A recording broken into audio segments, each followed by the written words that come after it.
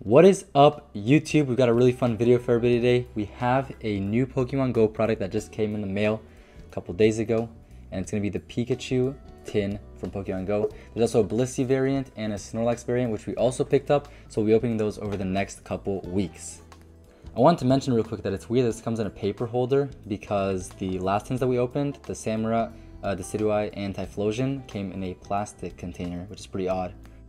Alright, so I went to take out the promo, and I already knew this wasn't a promo, so that's why I kind of didn't want to pick this box up, because just a regular Pikachu with a new holo pattern. But I did not know, I thought it was going to be a code card behind it, but look, there's an actual Black Star promo Pikachu holding a gift, a gift delivery Pikachu, and I really didn't know it was going to come in this tin, so I wish I would have got that on camera, I, op I opened it off camera, that part. Um, but I was super excited, and I'm really happy about that, makes this tin way cooler, in my opinion. Oddly enough, the tin does come with some stickers in it, which is pretty cute, but weird for sure. And most importantly, we do get our four Pokemon Go TCG packs. Let's get right into the first one.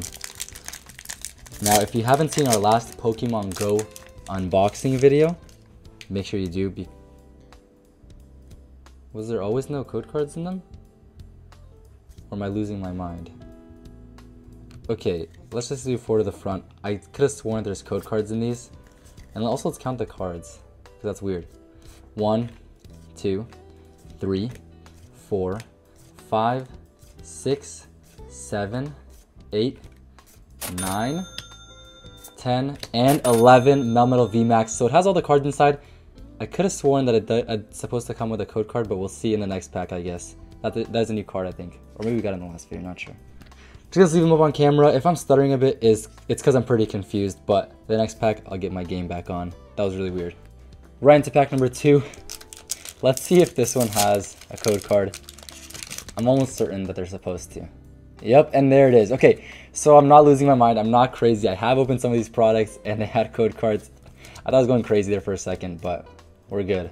Leaf Energy, Wartortle, Solrock, Lure Module, Charmander, Aipom, Bulbasaur, Pidove, Magikarp, Slowpoke Reverse Holo, and Sylveon Holo. Each card comes with a, or each pack comes with a Holo card guaranteed, so nothing special.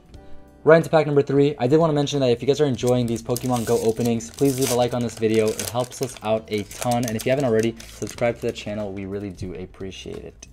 Also, if you guys play Pokemon Go, let me know down in the comments below. Um, I play, I used to play pretty re religiously. Now I don't play as much, but if you guys want to add me as a friend, I'm more than happy to do so. Charmeleon, Pikachu, Squirtle, Bibarel, Rattata. We still haven't gotten a Ditto or a Radiant card. Lure Module Reverse Holo, and Blissey Holo, so nothing in that pack. And with that, we are at our last pack for the video. Um, I want to do the math real quick, but I don't remember exactly what we opened. I think it was like 8 and 10. So this will be our 22nd pack without a Ditto or a Radiant card.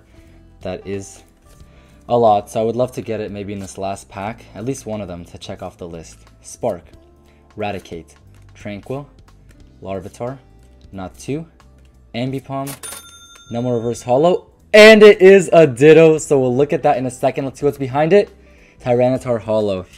Okay, so you see a little Ditto marker there?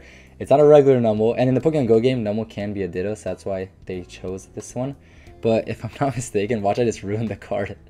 There's supposed to be a special trick. There we go. Oh, this is satisfying. Okay, I wish you guys could experience this. It's amazing.